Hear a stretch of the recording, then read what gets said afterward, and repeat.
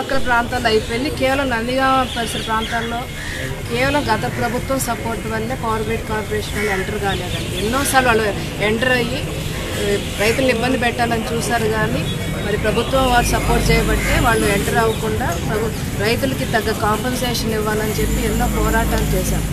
అదేవిధంగా వాళ్ళు ఇచ్చే రూల్స్ ప్రకారం రెండున్నర టవర్ ఏరియా కింద వచ్చే వాల్యూకి రెండున్నర రేట్లు మాత్రమే ఇస్తానని చెప్పారండి. కానీ మేము అనేక సార్లు పవర్ గ్రిడ్ కార్పొరేషన్ని మరి సూచించడం జరిగింది. నాలుగున్నర రేట్ల వరకు మేము తీసుకొచ్చాం. ఎన్నోసార్లు దాదాపు పదిహేను సార్లు వెళ్ళి ఉంటాం. కలెక్టర్లు మారారు ముగ్గురు కలెక్టర్లు మారారు సబ్ కలెక్టర్లు మారారు జాయింట్ కలెక్టర్స్ మారారు. మళ్ళీ వాళ్ళందరికీ కూడా మళ్ళీ ఫస్ట్ నుంచి వాళ్ళకి ఎక్స్ప్లెనేషన్ చేస్తూ చివరికి మాకు ఎలక్షన్ కోడ్కి ముందు అది ఆర్డర్ రూపంలో వచ్చిందండి. ఎలక్షన్ కోడ్ వల్ల అది విడుదల కాలేదు జీవో. కానీ ఈరోజు మేము వంట అంతా సిద్ధం చేసుకొని మేము వడ్డించే టైంకి ప్రభుత్వాలు మారిపోయి వాళ్ళు వచ్చి వడ్డిస్తూ ఇదంతా మేం చేసిన ఘనకార్యం అని చెప్పుకోవటం నిజంగా గర్హనీయం. రైతులకు కూడా తెలుసు వాళ్ళ తరఫున ఎవరు పోరాడారు.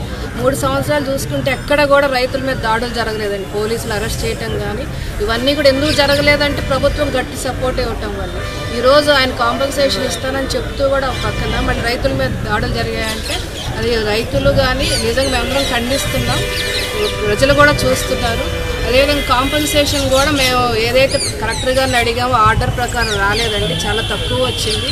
ఇది కూడా మీరు మళ్ళీ పరిశీలించాలి. రైతుల తరపున మేము ఎప్పుడు కూడా అండగా ఉంటామని తెలియజేస్తాం వార్తావాణి న్యూస్ ఛానల్ ఎప్పటికప్పుడు రాజకీయ సినీ విశేషాలు స్పోర్ట్స్ మరియు సాంకేతిక పరమైన మరెన్నో విషయాలను మన ముందుకు తెస్తుంది. మరింత సమాచారం కొరకు వార్తావాణి న్యూస్ ఛానల్ని సబ్స్క్రైబ్ చేయండి.